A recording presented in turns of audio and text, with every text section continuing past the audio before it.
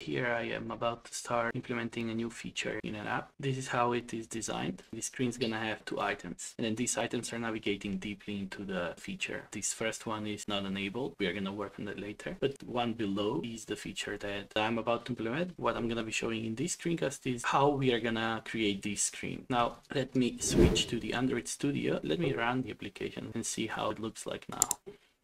So here I have an emulator as we can see, we're having a bottom navigation already. We are having this placeholder here and it's empty. And this is how the fragment looks like that actually opens the screen. This is not full compose application. We are switching the screens one by one and then eventually move to full compose. So for now, we're having the standard Jetpack navigation component for doing the navigation across all the other tabs. So we are going to be focusing on this one. So here we are going to create a new package and we're going to start off by introducing a new composable. Let's name it tools view and we do that because that's how we standardize writing the screens for the project. Also, one of the standards that we are having is that each composable, if it's not a bridging function, should take modifier.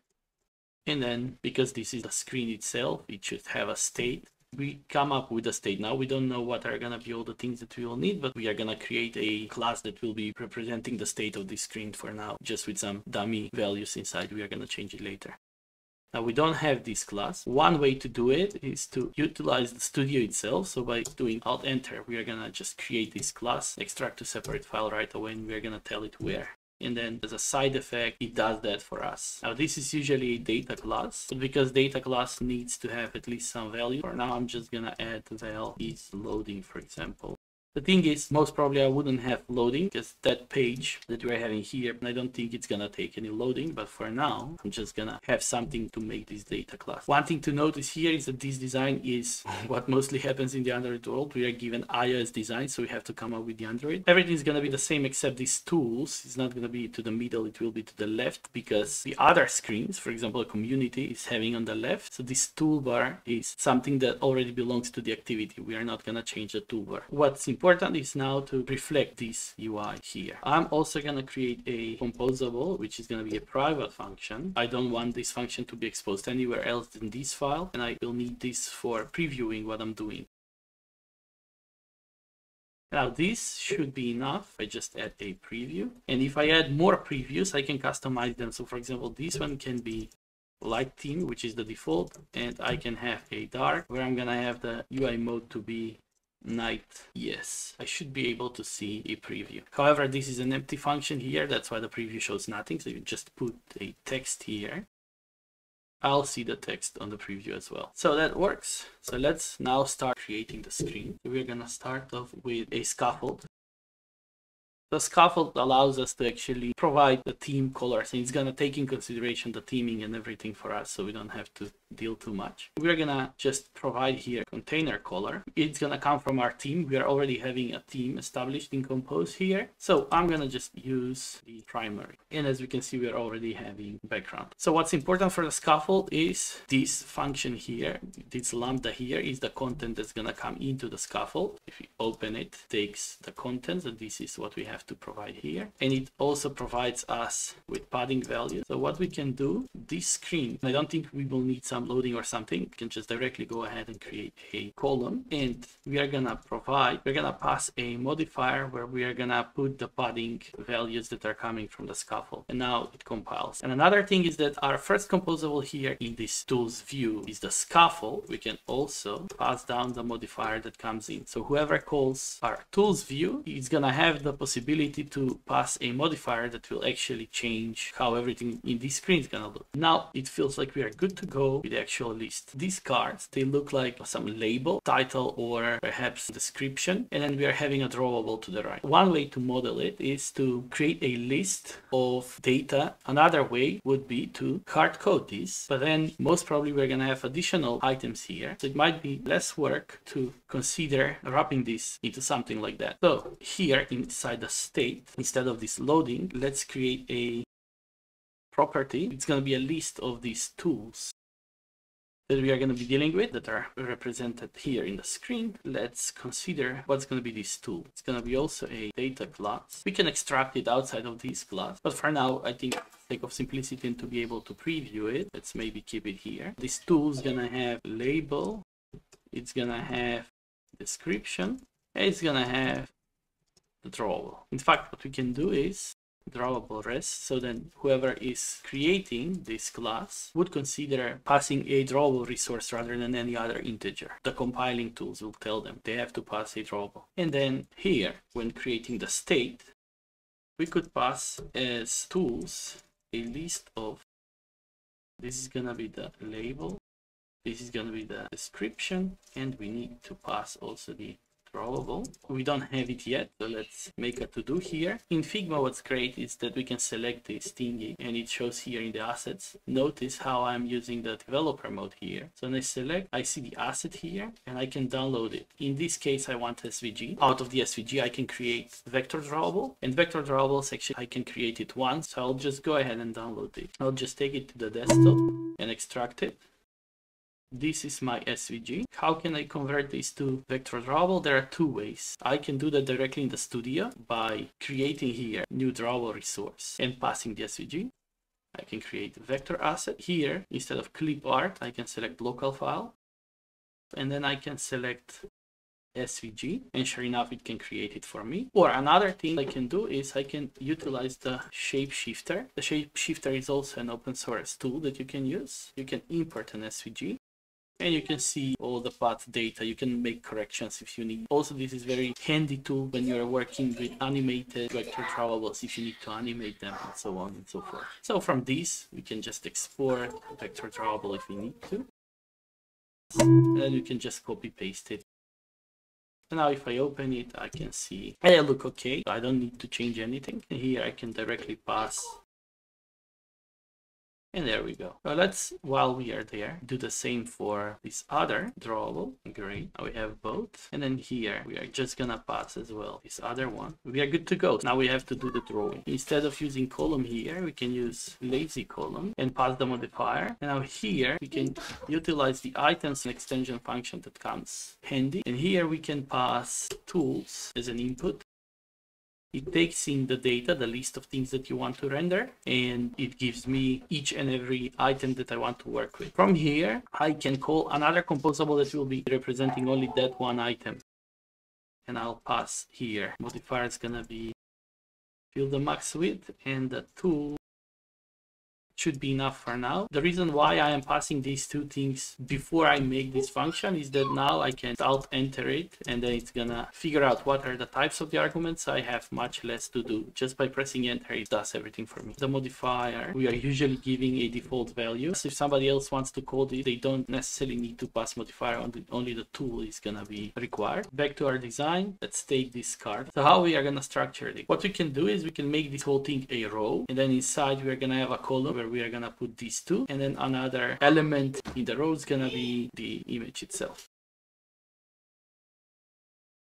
Let's first put the things inside. It's gonna be the tool label on top, then the description, and then next to the column we are gonna have an image where the painter is gonna be a painter resource and ID will be the tool drawable. And then we also have to give a content description that's handy for the accessibility services. In this case, what we can do is we can move the accessibility thing to the row itself. To this modifier, we are gonna say semantics and we are gonna say merge descendants to true so it wouldn't go through each child of the row itself and then here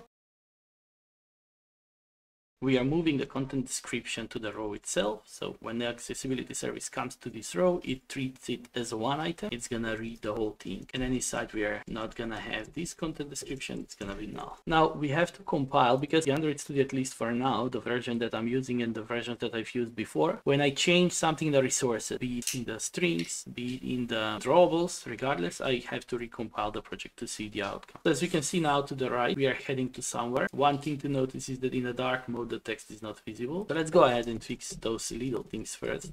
Here, color should be coming from the theme or both. And as you can see now, it is visible. And we also have to apply some styles.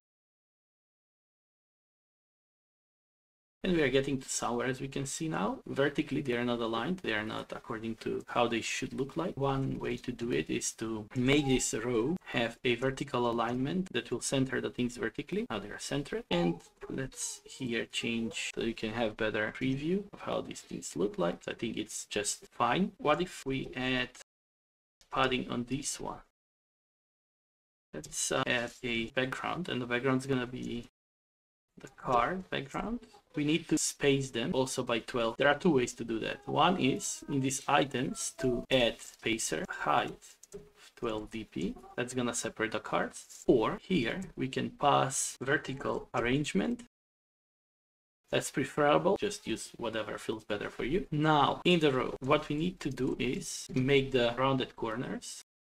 I can click with rounded corner shape. Now, as we can see, there is no effect. Reason why the order of these is uh, something that matters. So if I just move the padding up, we can see it being applied. So now we get to somewhere. Let's see maybe what is the size. So maybe we can just leverage this item and we can say height in 159 is not best value. I usually want to put values that are divisible by 2 what height in does, it's same as saying like what's going to be the minimum height. So at least 160 and then if it takes more, it's going to expand more. Then this spacing around, this padding that I've added is a padding that is between the parent, the actual screen and the card. But inside the card, you have to add additional padding to move this away.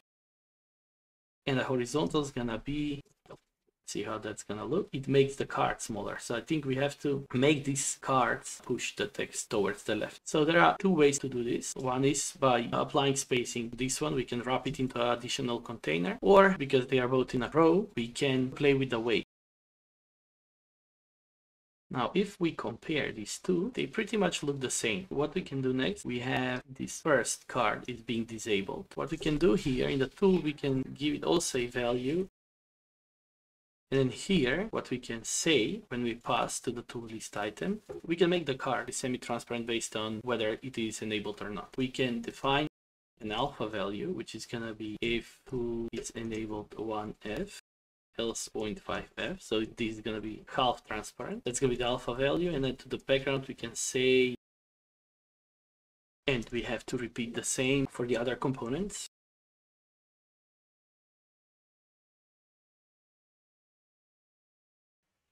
And now to reflect what we are seeing here, this one is enabled, this one is not. So let's also do that here because by default both are disabled. This one's gonna be is enabled true. And then we have an exact reflection what we are seeing here. Most probably these items, we want them clickable. So what happens on item click? And here what we will do is so there are two things. We can either make it clickable if it is enabled or not, or we can make it clickable in all the cases and then process the click based on being enabled or not. The second approach here, we can say if tool is enabled, then on item click, that's one way. Another way, you can say that's going to be our on click modifier and then here we can say then on click modifier so do what works for you and then here we have to pass an on click what happens when we click on an item and that's gonna be a lambda that comes in into the view.